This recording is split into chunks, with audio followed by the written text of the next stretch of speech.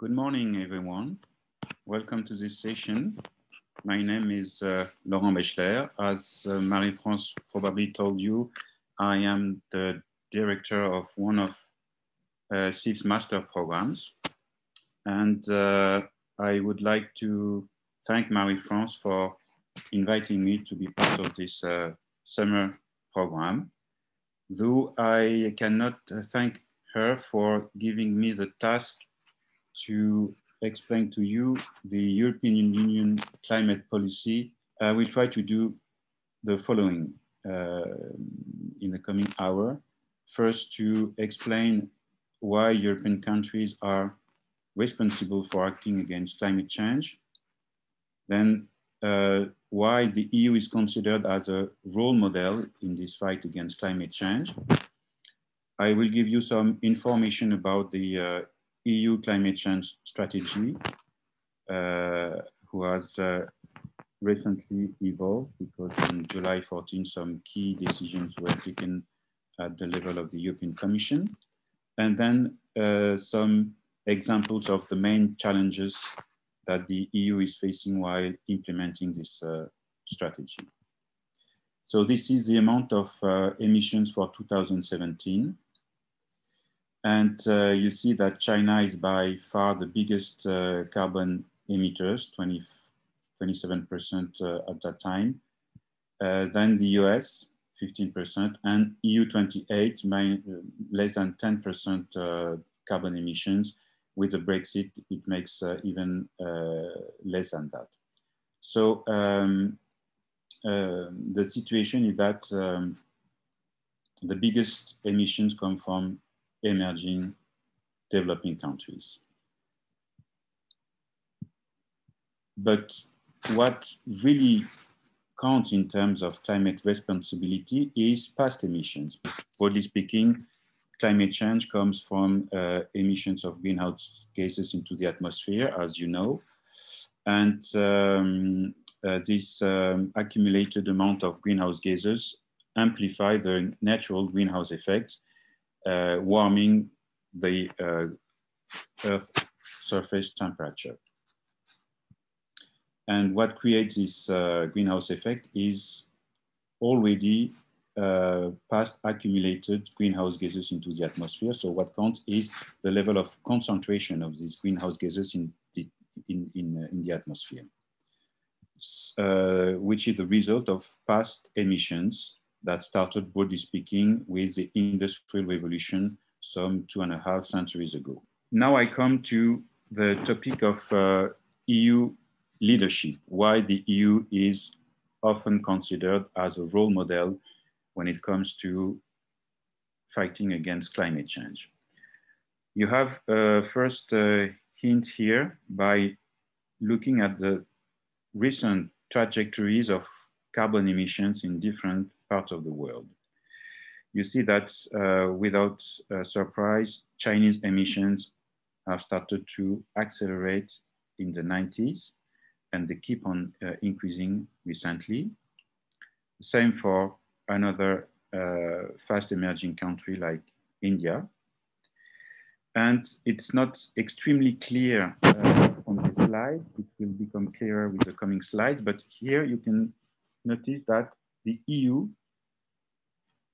has reached a peak in carbon emissions in 1990 because from this uh, date onwards, carbon emissions by the EU have decreased. Slightly, but they have decreased, which is not the case for the US. The US, they have increased up until this date, so around 2005. Um, and it's not the case for uh, either Russia or Japan. And this is why Europe is considered as a leader in terms of uh, fighting against climate change. And you can see that from another perspective, which is the per capita emission uh, level, uh, carbon emission. You look at the bottom graph here showing energy related carbon emissions per capita. depending on the level of GDP per capita, standards of living. And we are in 2013. And we can compare here different parts of the world, different regions, different countries. And here again, you see how European countries, the European Union is uh, efficient in terms of uh, uh, curbing climate change because on a per capita basis, the level of carbon emission is much lower compared to what it is in the US. That was true in 1971, the diamond here. That was true in 2013. And that will be true uh, in the projected scenario for 2030. In fact, broadly speaking, twice as uh, less carbon emissions on a per capita basis in Europe compared to uh, what we observe in the US at these different dates. Um, so again, this is um, a way to observe how efficient the European Union is in terms of uh, controlling carbon emissions. And you can observe the same thing by comparing the European Union to China at uh, this specific date 2013, you see that the level of carbon emissions in China and in the European Union was approximately the, the, same, but of course the level of economic activity, standards of living, GDP is much bigger, much higher in the European Union compared to what it is in China, which means that for the same level of carbon emission, the same environmental impact, you have a much higher um, economic performance in the European Union compared to China. Another way to say that China, uh, Europe is much more efficient and uh, much um, better at uh, curbing environmental impacts and climate impacts of its economic activities compared to a country, a fast emerging country like China. The last way to assess this uh, climate leadership in Europe is to look at what European countries achieved under the Kyoto Protocol. The Kyoto Protocol was the first uh, international treaty dealing with climate change. It was uh, signed in 1997, entered into force in 2005, and uh, was completed in uh, 2012 compared to the level of 1990s. Spain had the opportunity to let its uh, carbon emissions increase by 15%. France uh, had to stabilize its carbon emissions under the same period. And a country like Germany um, had the target of diminishing carbon emissions by 21% during this period of 22 years. Okay. And the blue bars are what countries did in the end. So what was observed uh, after the implementation period of the Kyoto Protocol. You see here that countries like uh, New Zealand, Canada, uh, Australia, or the US did very bad because uh, they could not achieve uh, the uh, target set under the Kyoto Protocol. For example, New Zealand had a more than 60% uh, increase in its carbon emissions compared to the target of 0% increase. Canada was supposed to decrease its carbon emission by 6%, but let it increase by almost 45%. And finally, the US had to decrease the emissions by 7%, but finally had an increase uh, by close to 10%. So I will not go into the details of why these countries failed in uh, dealing with uh, their carbon targets. But I would like you to pay attention to how European Union countries did under the Kyoto Protocol. France did uh, good 0% target, but finally minus almost 7 8%.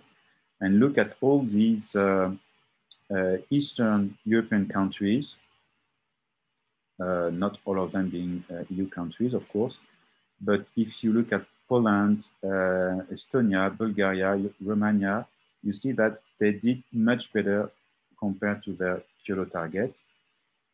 Of course, uh, there is a big explanation behind this level of performance as a very simple explanation, which is that the basis year for the Kyoto Protocol, as you see here, is 1990. And in 1990, we had, of course, the fall of the Soviet Empire, and this led to a huge process of industrial and agricultural restructuration in this part of Europe, in these countries, uh, Eastern European countries.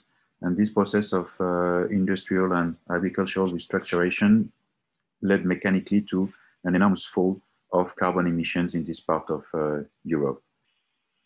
What is the EU climate um, strategy?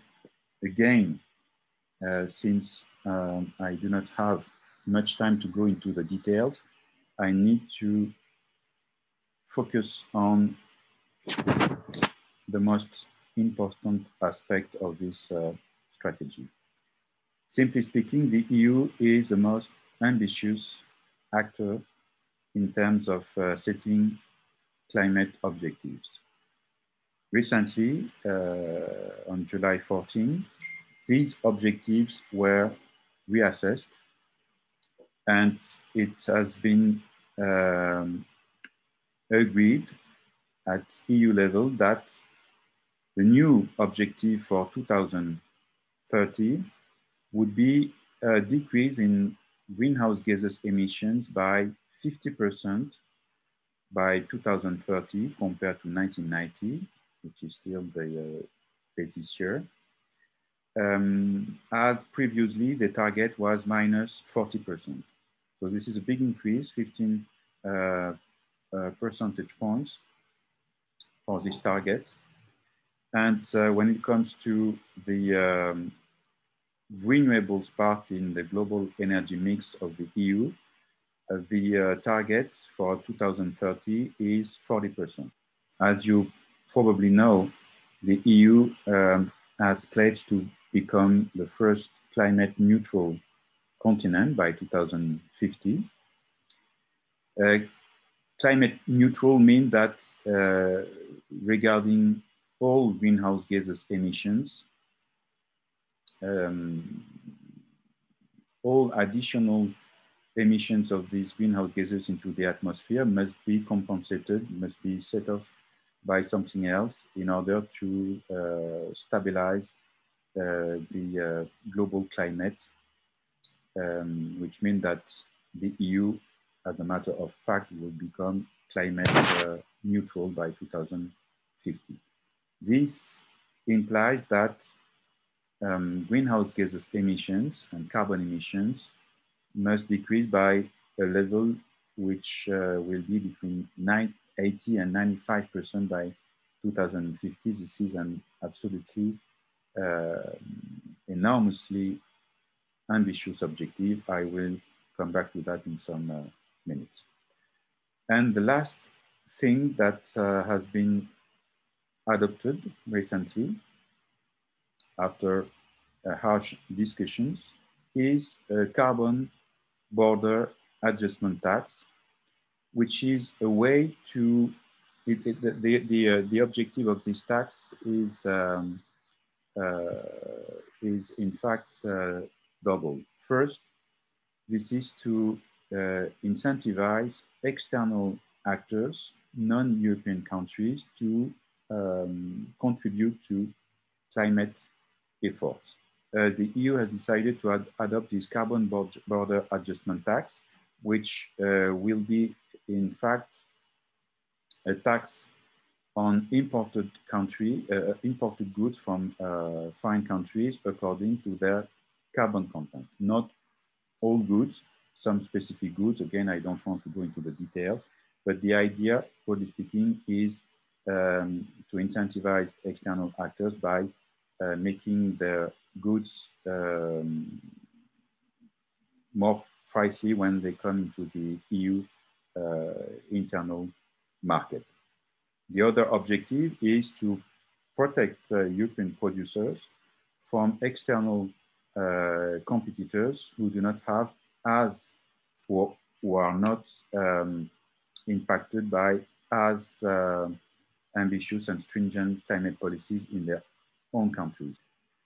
How um, does the EU intend to reach this major goal of becoming climate neutral by 2050?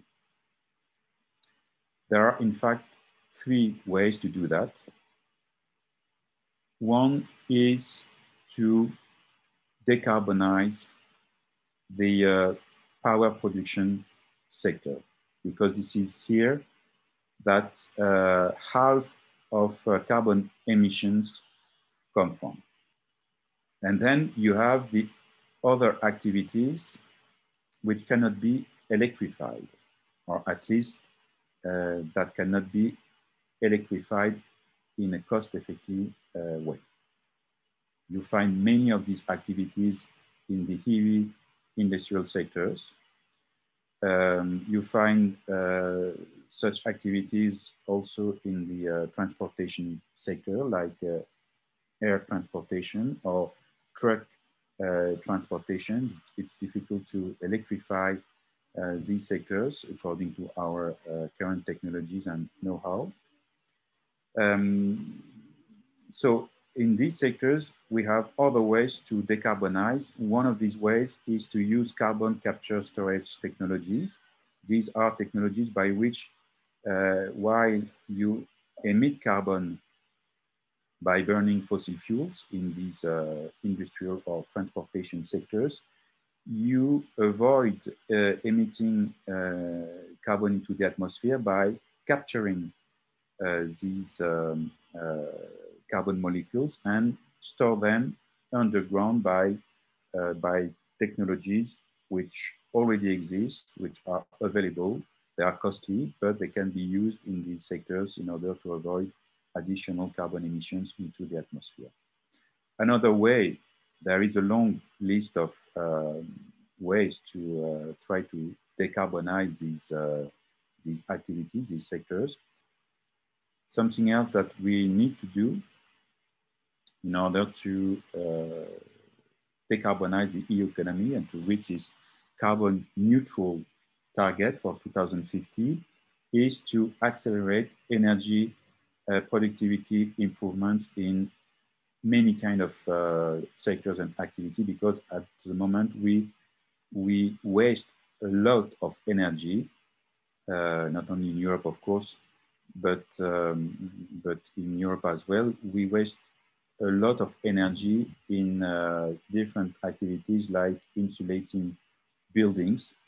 Uh, energy losses in this instance are estimated at 30, 35, at some points 40%, which is enormous.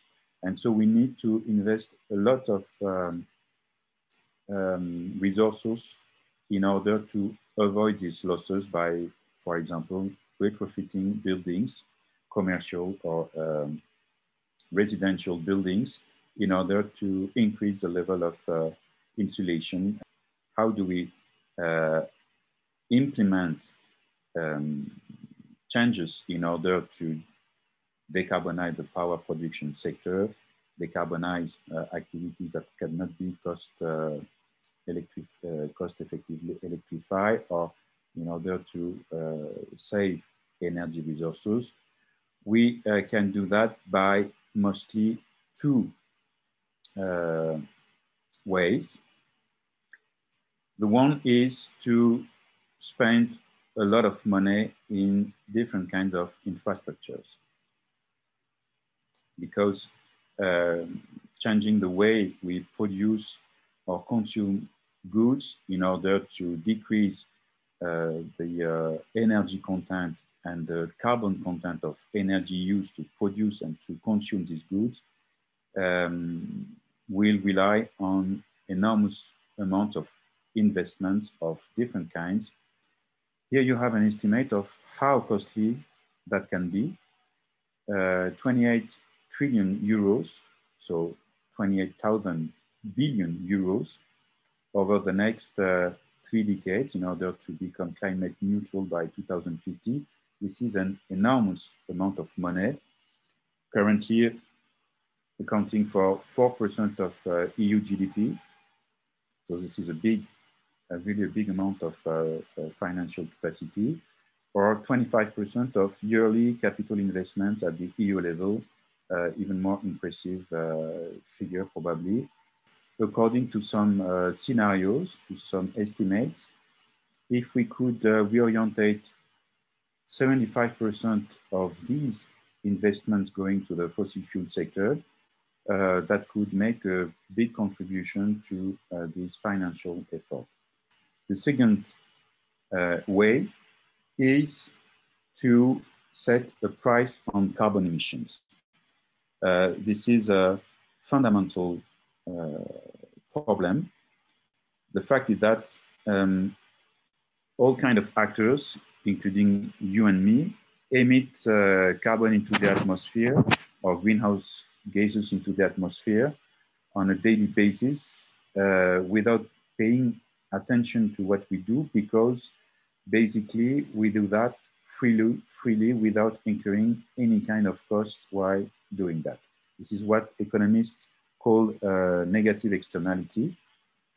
And this is a situation that can be curbed uh, only by setting a price on these carbon emissions um, how do we set the price on carbon emissions in order to um, change behaviors of uh, actors uh, contributing to these uh, carbon emissions? We can do that either by putting a tax on carbon emissions, so an additional price, um, or by uh, setting a cap and trade system. And the EU another way to illustrate the fact that the EU is a leader in uh, climate uh, uh, change strategies, the EU was the first uh, region to implement an international cap and trade system in 2005. First, it covers 50% of EU emissions. Of course, once you have decided a cap, you need to, if you, if the, the, the, objective is really to become carbon neutral, you need to decrease carbon emissions year on year. And in order to do that, you need to decrease the cap itself. This is what the EU ETS is doing. Up until 2020, uh, the cap um, was decreasing by this 1.74% uh, level a year. And uh, starting in 2020, um, the restriction is even bigger because year on year, the cap will have to decrease by 2.2%. At the moment, um, most uh, allowances or carbon permits, as we call them, are auctioned, which means that they are sold on a market um, uh, to the um, uh, firms uh, wanting to buy them. And the rest is uh, distributed freely, mainly according to competitiveness issues We distribute freely these allowances in order not to impact too much the competitiveness of some specific industrial actors. The main ways by which this system can be made uh, more efficient are to um, make the cap more constraining because for some observers, even this 2.2% um, uh, level of uh, additional stringency uh, is, not, uh, is not enough for becoming a carbon neutral by 2050. Another obvious way by which you can make uh, this system more efficient is to extend the coverage because 50% of course is not uh, completely satisfactory. So for example, in the coming years, there is a project to extend the system to the maritime sector as uh, previously it was uh, extended to the uh, aviation sector by 2012. Uh, something else that can be done is to end the free distribution of uh, allowances because this is uh, the best way by which uh, you will orientate uh, available permits to the most efficient firms from a um, carbon curbing point of view. So these are different um, path for, forward in order to make the EU strategy and the EU ETS system more efficient in coming years. Uh, on this slide, you have the carbon price uh, observed on this um, EU ETS, because of course, once you have uh, created this um, carbon market, artificially, in fact, by setting a cap and make, making it possible to exchange allowances on this uh, newly created market, you um,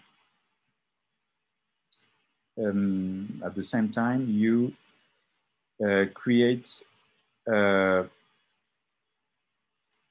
situation in which suppliers of permits and demanders of these uh, carbon permits can uh, meet on this newly created market. And when you have a supply and a demand of something on the market, you uh,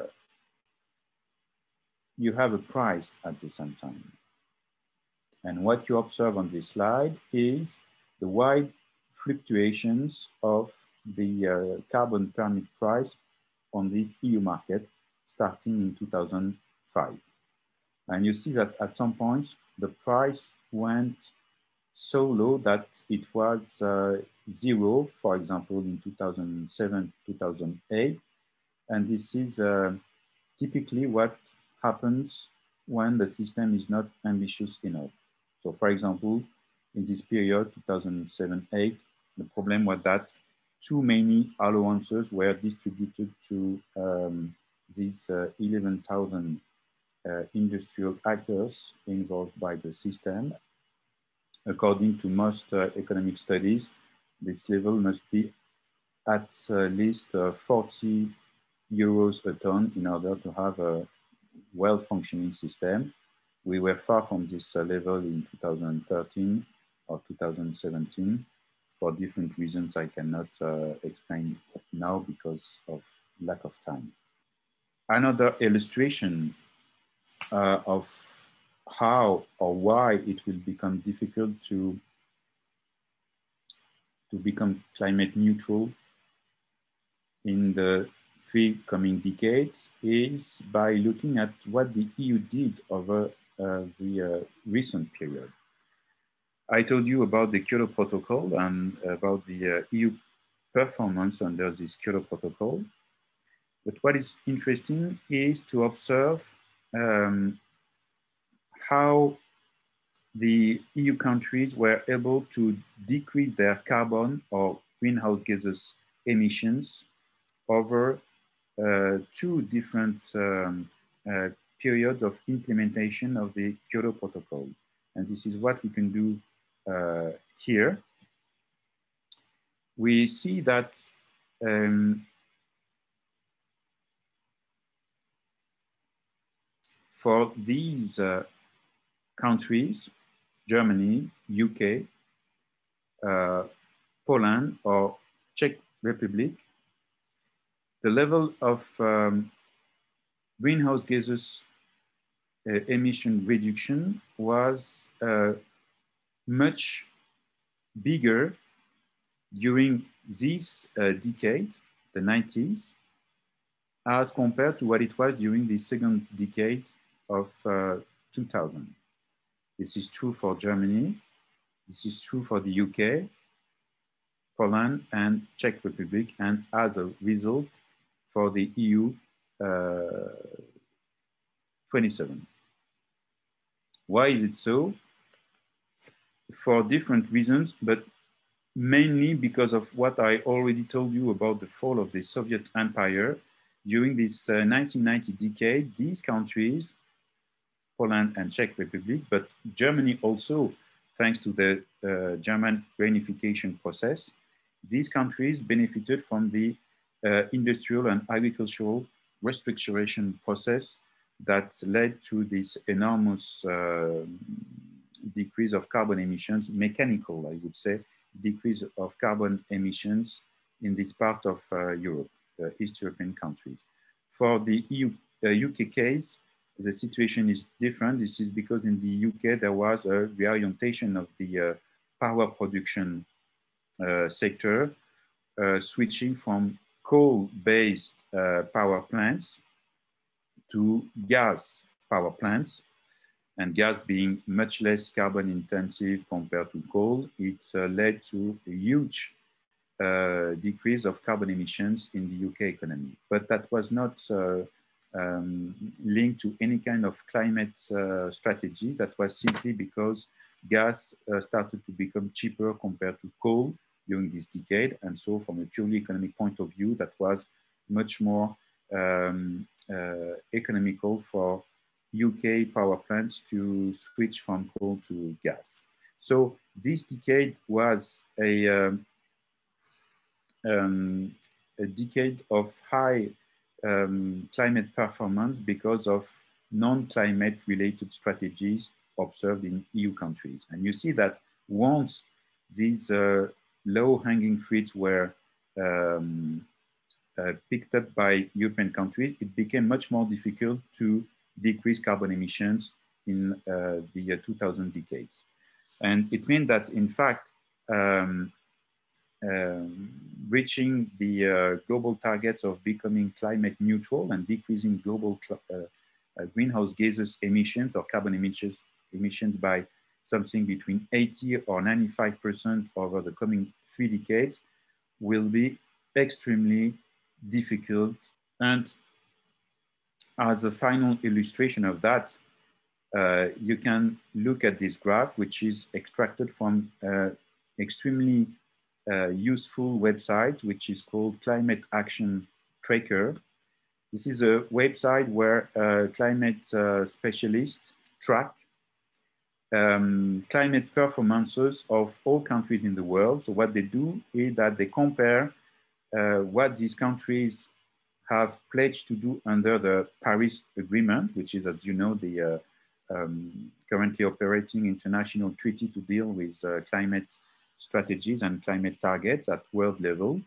And so they compare the um, pledges of countries under the Paris Agreement to what they uh, really do and to what they should do in order to be in line with the final global target of uh, limiting global warming to 2 Celsius degree or uh, in the best case scenario, 1.5 Celsius degree. Um, so the, a level of uh, long-term stabilization of global warming at world level. So uh, the last point and my last word on that, and sorry to be a bit uh, pessimistic, you need to remember that uh, the climate uh, challenge is a global challenge. So as I already told you, even if the EU is perfectly efficient in uh, fighting against climate change, if other actors do not do the same kind of efforts, uh, the uh, environmental impact of the EU climate strategy will fall to almost nothing. And um, unfortunately, if we look at what countries do or even pledge to do under the Paris Agreement, we are still quite far from the targets set uh, under this agreement. These are the two carbon emission pathways to be in line with the uh, Paris Agreement commitments, either 1.5 Celsius degree global warming or 2 Celsius degree global warming.